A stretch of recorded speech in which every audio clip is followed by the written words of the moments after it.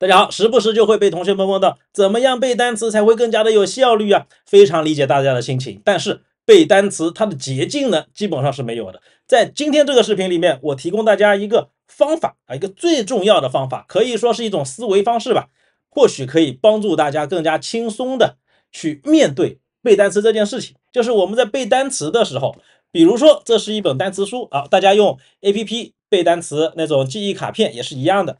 经常我们每天会给自己来一个单词的目标，比如说今天要读两百个单词，这种枯燥的事情，往往越做到后面，心里会越烦躁。那这个时候千万不要往后面翻，比如说像这本书一样，我们读了这本书以后，看到后面，哇，后面还有这么多，烦死了。我们应该看前面，给自己一点信心。